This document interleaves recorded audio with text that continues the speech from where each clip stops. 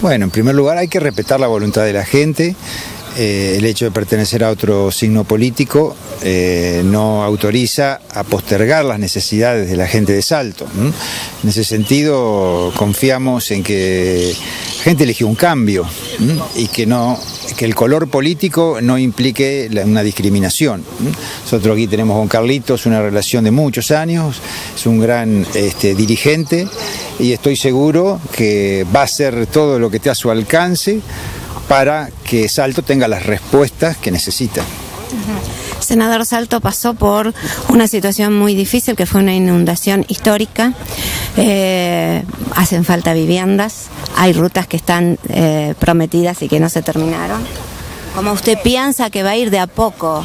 Claro, digamos, los cambios no se producen de un día para el otro, ¿no? Pero sí, un día tras otro, las cosas tienen que ir mejorando.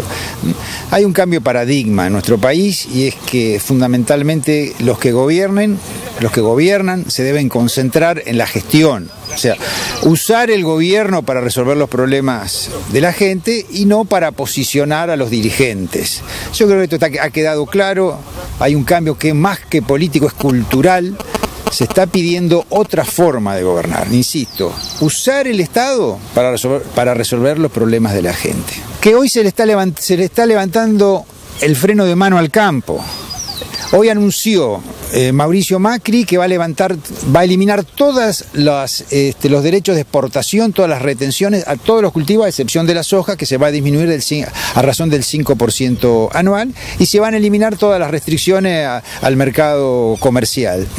Eh, el campo eh, no es una dicotomía con la ciudad, no es el campo y la, contra la ciudad, es el campo y la ciudad caminando juntos. Y, y Salto es el epicentro de la riqueza mm, del motor productivo agropecuario de nuestro país.